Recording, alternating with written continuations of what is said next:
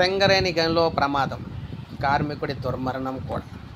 So మీరు చూసుకున్నట్లయితే పెద్దపల్లి జిల్లా గోదావరికిని ప్రాంతంలో డి జీడీకే లెవెన్ గనిలో తెల్లవారుజామున జరిగిన ప్రమాదంలో కార్మికుడు మృతి చెందాడు. తోటి కార్మికులు తెలిపిన వివరాల ప్రకారం పెద్దపల్లి జిల్లా రామగిరి మండలం కొన్నూరులో నివాసం ఉండే ప్రతాప్ ఎల్హెచ్డి ఆపరేటర్గా పనిచేస్తున్నారు సో రాత్రి బ్లాస్టింగ్ తర్వాత ద్వారా కూల్చివేసిన బొగ్గు మట్టిని ఎల్హెచ్డి యంత్రాలతో కొద్దిసేపు తరలించారు. రాత్రి రెండు గంటల ప్రాంతంలో యంత్రం పనిచేయడం ఆగిపోగా సమస్యను గుర్తించేందుకు కిందకు దిగారు.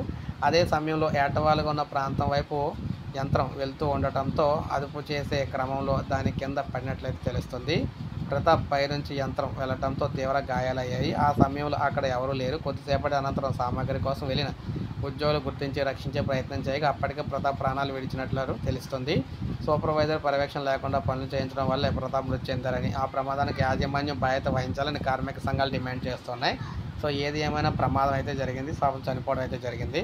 సో ప్రతి ఒక్కరు ఒక లైక్ చేయండి సపోర్ట్గా సబ్స్క్రైబ్ చేసుకోకపోతే మన ఛానల్ సబ్స్క్రైబ్ చేసుకుని